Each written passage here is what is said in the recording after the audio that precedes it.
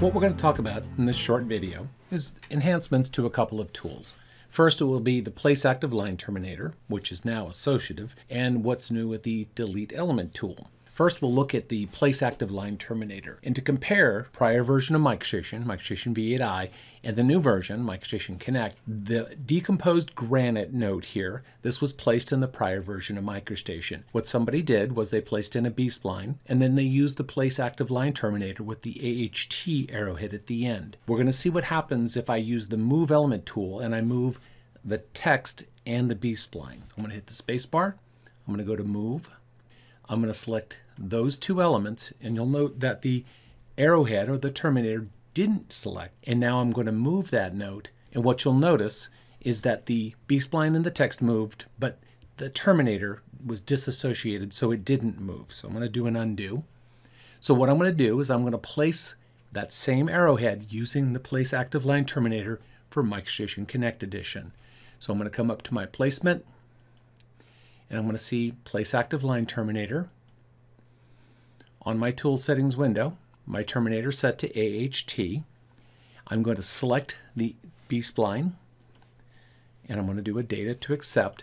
And what you're first going to notice is the arrowhead is placed, but you notice it didn't follow the direction of the B-spline. And the reason that is, is that I used a cell, the AHT cell, that is a point cell, and point cells are view independent. That means if the view is rotated, which this view is, the arrowhead doesn't rotate with the view. So we have a tool, it's called Fix Cell, and we're going to run that. Those of you who've worked in MicroStation before probably know about this tool already.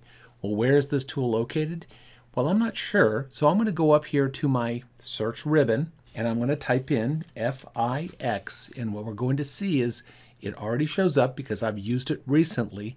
If I wanted to know where it's located, which tab, which group, I can move my cursor over right here and it's going to show me it's in the drawing workflow, the CT Tools tab, in the CT Cell Tools group. Now I'm just going to go ahead and select Fix Cell up here and what you'll notice is when I do this, it's going to run the program and you're going to notice that Terminator will rotate to align with the B-spline. Here we go.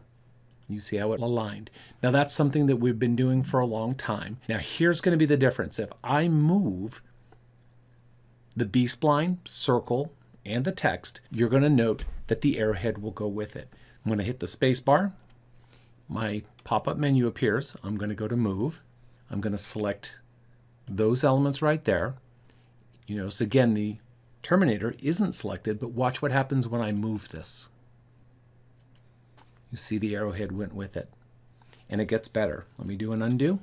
If I was to modify the B-spline, again hit the space bar, go to modify, select modify element, and I'm going to select the end of the B-spline and I'm going to reposition it.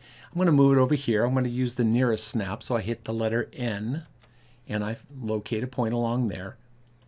And what you see is the arrowhead went with it. Now this is going to work whether that's a B-spline or it's a line, it doesn't really matter. That's the way Place Active Line Terminator works. It's now associated with the element that it's placed on. Again, if you are in a rotated view, you'll still have to run the fix cell. Now let's take a look at delete.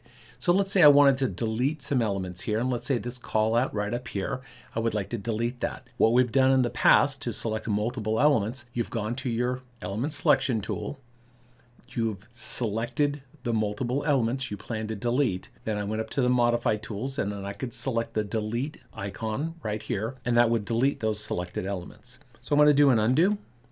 And this time I'm just going to go straight to the delete element tool. What we've done is we've built in the selection functionality into the delete element tool. So I don't have to independently go to element selection, select the elements I want, and then go to the delete tool to delete them. If you watch what I do, I'm going to hold the left button down. And again, I'm not in element selection. I'm in the delete tool. I'm going to release the left button. They're highlighted. I then left click or data to accept and they're gone.